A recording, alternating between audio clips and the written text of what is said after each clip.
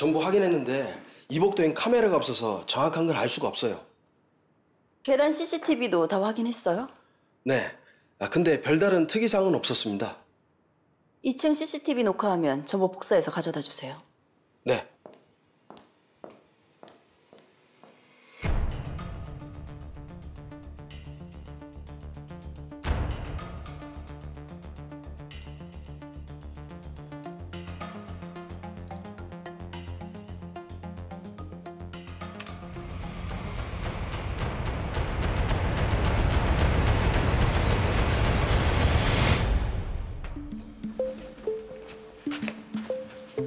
별게 없더라고요. 별게 없다.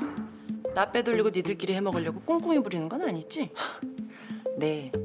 이영신 전화번호 줘봐 확인해보게. 아, 진짜 속고만 살았나 봐. 진짜 매각이 무산됐다 그랬다니까.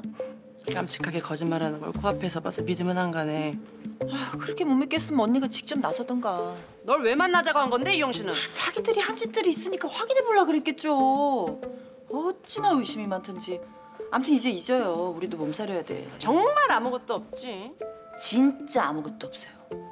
난 이만 총총.